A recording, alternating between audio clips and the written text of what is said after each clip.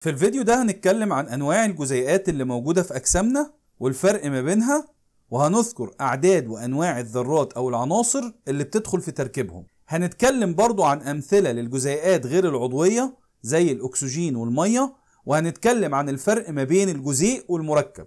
برضو هنذكر بعض الأمثلة للجزيئات غير العضوية واللي بتحتوي على ذرات كربون زي ثاني أكسيد الكربون وغيرها من المركبات. زي ما اتكلمنا في الفيديوهات اللي فاتت في نوعين أساسيين من الجزيئات موجودة في أجسامنا. طبعا الجزيئات العضوية أو اللي بنقول عليها ال organic molecules ال organic molecules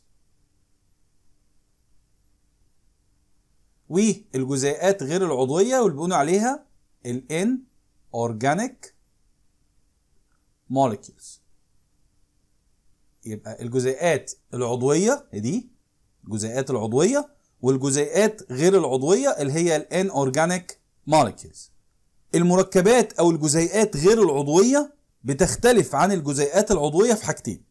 دايما بيكون فيها عدد محدود من الذرات مقارنة بالجزيئات العضوية. فخلينا مثلا نشوف هنا.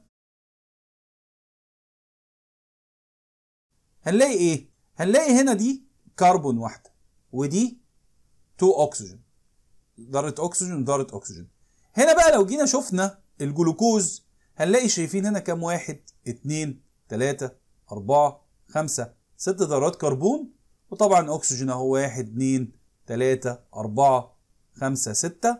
وطبعا في 12 ذرة هيدروجين. فزي ما إحنا شايفين في عدد محدود من الذرات في الجزيئات غير العضوية هنا مقارنة بعدد أكبر في الجزيئات العضوية. ده ده يعني ده جزء. الحاجة التانية إن دايما الكربون مش بيكون أساسي في تركيب الجزيئات غير العضوية. طبعا إحنا خدنا المثال اللي فيه استثناء هنا وده هنذكره تاني لكن لو جينا شفنا هنا فوق خلينا نركز على الجزء ده هنلاقي هي دي الجزيئات غير العضوية. فالجزيء اللي قدامنا ده خلينا نكبر هنا شوية. الجزيء اللي قدامنا ده هو عبارة عن إيه؟ عبارة عن دي ذرة أكسجين ودي ذرة أكسجين يبقى ده O2 زي ما إحنا شايفين قدامنا فده يعتبر من الجزيئات غير العضوية. طبعا ده موجود في جسمنا لأن ده إحنا بنتنفسه.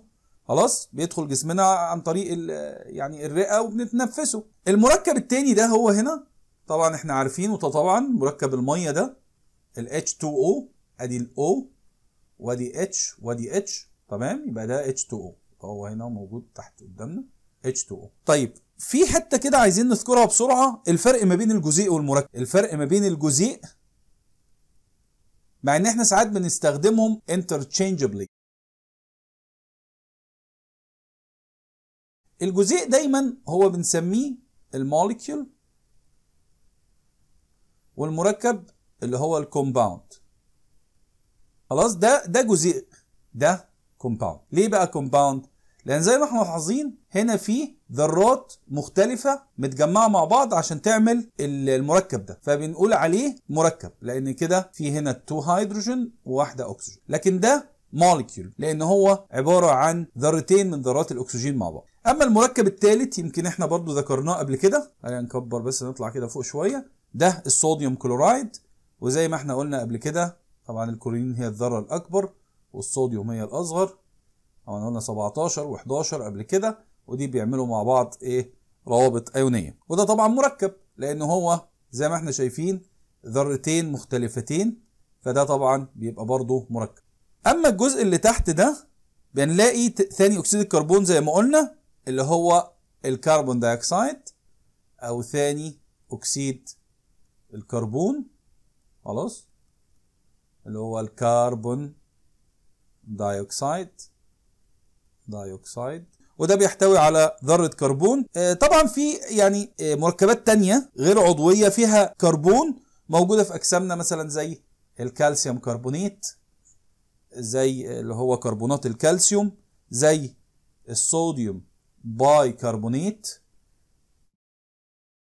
دي موجودة في أجسامنا وبرضه فيها زي ما إحنا شايفين هنا ذرة كربون اهي هنا ذرة كربون اهي هنا ذرة كربون لكن كل دول بالرغم إن فيهم كربون هم مركبات غير عضوية. اللي إحنا عايزين نأكده في الجزء ده إن معظم المركبات اللي فيها ذرات كربون هي مركبات عضوية. باستثناء مركبات قليلة في أجسامنا اللي هي اللي إحنا ذكرناها دي اللي هي ال carbon dioxide ال calcium carbonate ال sodium bicarbonate. لكن معظم المركبات اللي فيها بقى ذرات كربون هي مركبات عضوية وهي اللي هنكمل يعني دراستنا فيها في ال unit ده. وطبعا إحنا في حاجة أخيرة بس عايزين نذكرها إن إحنا جينا معلش ذكرنا يمكن هنا إيه carbon dioxide والاكسجين هندرسهم إن شاء الله بالتفصيل في سنة تانية في التنفس.